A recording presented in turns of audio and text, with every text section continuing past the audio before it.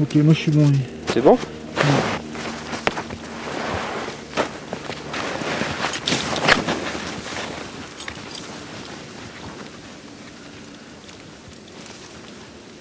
Alors maintenant, euh, on va parler un petit peu de la technique du, du virage de pentraide.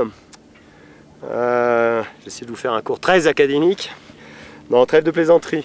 Euh, moi, j'ai pris certaines habitudes. hein. Ce que je vais vous présenter, c'est ma façon de procéder. Pour moi, elle fonctionne très bien. Après, à chacun de, trouver ses propres variations. Je l'ai moi-même fait par rapport à des choses qu'avaient pu m'apprendre des gens, par exemple comme Anselme, Beau, euh, euh, par rapport au déclenchement du virage et tout. Déjà, pour venir au bâton, je skie toujours avec des bâtons un peu plus longs que ce que je que ce que j'ai l'habitude, que je devrais skier normalement. Normalement, je devrais avoir des 1m20, j'ai 1m25. Pour deux raisons, parce qu'à la montée en pot de phoque, bah, ça permet de plus pousser et d'allonger la foulée. Et puis aussi parce que en- à la descente, vous voyez, avec votre bâton aval, bah, vous êtes moins cassé en deux, vous gagnez 5 cm, donc vous êtes un peu plus droit. J'aime bien être assez droit et un de mes plaisirs en ski de pentraide, c'est de me sentir grand dans la pente. hein. Et vous allez remarquer, vous allez voir sur les images, souvent le planté, je fais un planté des deux bâtons. Pourquoi? Il y a énormément de choses au niveau du ski, de la technique de ski de pentraide qui passe par la perception de la neige. On revient aux conditions de la neige. Euh, et donc, bah, vous voyez, avec mes deux bâtons et mes deux skis, j'ai quatre palpeurs sur la neige qui me renseignent en permanence sur l'état de cette neige. Après, l'autre point, quand j'enseigne à des clients, vous voyez, le planté du bâton amont se fait, se fait euh, presque au niveau des spatules du ski amont. Euh, et cette position-là, observez mes hanches et mes épaules. Mes hanches et mes épaules sont dans la ligne de pente quasiment tout le temps, tout le temps, tout le temps. Et ça, c'est très important parce qu'au moment où je vais déclencher mon virage, je vais déclencher mon virage, mes hanches et mes épaules sont déjà dans la ligne de pente et ça évite d'avoir à sauter, à prendre trop de vitesse qu'on aura éventuellement du mal à contrôler ensuite suivant la qualité de neige.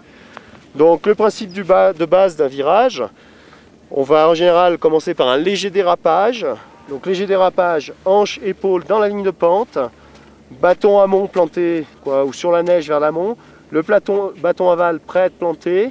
Et là, on est en équilibre majoritaire sur le ski aval.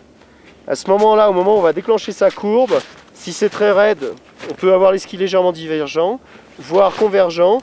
Et en fait, avec un ski convergent amont, c'est le transfert du poids du ski aval sur le ski amont associé à une extension qui va déclencher le virage. Après, il suffit de revenir en reprise de flexion doucement pour, que- pour, euh, pour conduire la courbe. Et c'est reparti pour un tour. Sinon, au niveau des dragons, toi, tu protestes comment là Alors les dragons, moi je suis... J'aime bien avoir mes dragons parce que ça me met... euh, ça me permet d'avoir une meilleure prise en main de mes bâtons. Pour être clair, je sais que les gens, des gens n'aiment pas, mais je me vois pas du tout skier comme ça. Parce que là, vous voyez, par exemple, quand je vais déclencher mon virage, eh ben, j'ai la main ouverte pratiquement et je suis en appui sur la dragonne. Je le conduis ici le virage. hein. Alors un virage très court. Voilà. Et ça, ça vous permet de tourner dans un mouchoir de poche. Parce que après, dans des pentes difficiles, euh, il va falloir pouvoir anticiper votre trajectoire. Pour moi, il y a quelque chose qui est absolument interdit en pente raide, c'est la conversion. Là, si je me retrouve coincé dans des rochers, je veux absolument pas avoir à faire une conversion, parce que si vous tombez pendant que les deux jambes sont ouvertes, vous tombez la tête en bas, c'est irrécupérable quoi qu'il arrive. Donc, euh, ou alors, il faut avoir Dieu avec soi ce jour-là. Donc c'est pour ça que j'ai cette technique, je l'aime bien, parce que vous voyez, elle vous permet de faire un virage dans un mouchoir de poche. Et plus la neige est dure, plus les virages peuvent être courts. Là, sur une neige dure, dans la surface de ce virage, on peut arriver à presque enchaîner deux virages. Et l'intérêt de cette technique, c'est qu'on n'est pas condamné à faire des tout petits virages, c'est qu'on peut agrandir les rayons de courbe et faire des virages aussi vite et aussi longs qu'on le veut, suivant la qualité de la neige.